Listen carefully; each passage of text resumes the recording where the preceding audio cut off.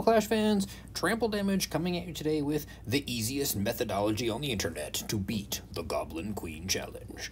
So, I, at least I believe that's a true statement. If you find an easier one, comment down below and let me know. I'm curious to hear about it.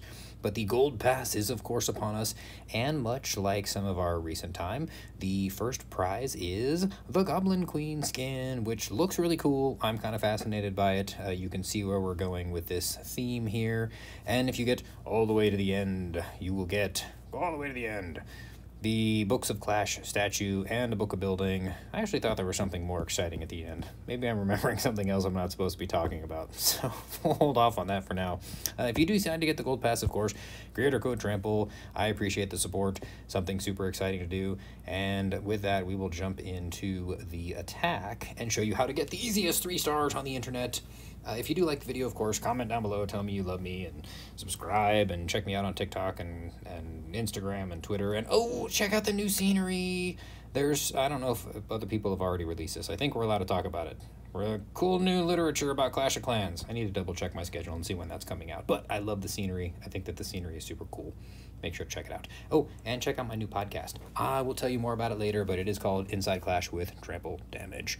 We're going to start out with a super wall breaker over here on this side because there are no spring traps. And then once the wall is open, we'll put a sneaky goblin to trigger all of the invisibility spell towers.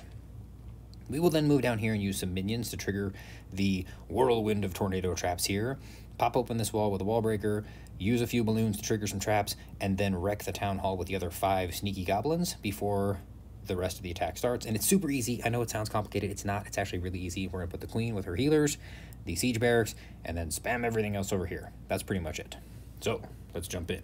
Super wall. Oh, put your warden in ground mode. The first time I tried recording this, I had him in flight mode, and when I put him over here, he exploded because all of the the air bombs got him. King and warden, and oh, my warden was in air mode.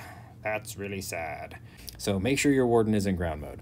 So we'll go super wall breaker, no problem, he'll get in there. As soon as that wall is breached, we will trigger all of those invisibility spell towers, and there goes the town hall. Now we'll come down here with three minions, and you can trigger pretty much all those tornado traps. Then we'll grab a super wall breaker and put it right here, and we will get two balloons, one of which to trigger all of those traps and one to trigger those traps. So the, the groundwork has all been done at this point, and then we will send in five sneaky goblins. You can move quicker through this if you want to, but we should have about 30 seconds left over by the time we're done. Town Hall explodes. We have Clan Castle troops, but we'll deal with them. We're going to go Queen with five healers and the Siege Barracks. That's it. When the Super Dragon gets closer, we will put the poison spell, and we will put the Rage on the queen. You don't actually have to use the rage there, but it makes the attack go a little bit quicker, and it gives me something to do other than simply staring at the archer queen shooting at stuff. You'll see the P.E.K.K.A. tanking over here, and the wizards will take out that eagle artillery. When this eagle and the scatter shot go down, we will use the second rage spell on the archer queen, and then move on to what is really the last stage of this attack. So Builder's going to try and fix things. Here comes the golem. And eagle is down, so we'll go ahead and deploy the rage spell. And we'll check back with the queen in a few. So we'll go king, warden, and we're going to spam all the hog riders along. Whoops, I triggered the king's ability. You don't have to trigger the king's ability with the warden in there. Part of the fun of this attack was going to be not triggering the king's ability. Whatever. We triggered the king's ability by mistake. You can see Archer Queen, she's doing fine. When the hogs get into this compartment here, we use the first heal spell to protect them, and then as they start to move out of this compartment, we will trigger the Grand Warden's Eternal Tome that will keep the heroes occupied for quite a while. We are going to save the heal spell for when this bomb tower goes down, which usually takes a minute because there are a bunch of bomb towers over here and a bunch of invisibility spells. We'll go ahead and put the heal spell down here. The Royal Champion is doing her thing. We still have one balloon and a bunch of minions and four free spells and the Champion's ability and the Queen's ability. It's actually, it looks way cooler when you swag all the hero abilities except for the Grand Warden, but I accidentally triggered the Barbarian King.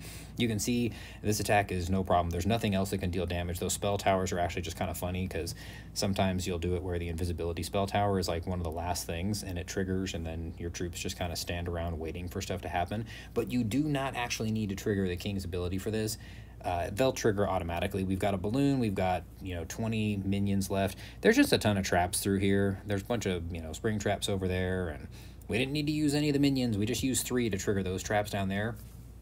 And we had 16 seconds left in the attack. It actually, normally it goes faster. Normally there's about 30 seconds left. Maybe triggering the king threw it all off. But there you go. I submit to you the easiest internet, the easiest tutorial that you will find on the internet.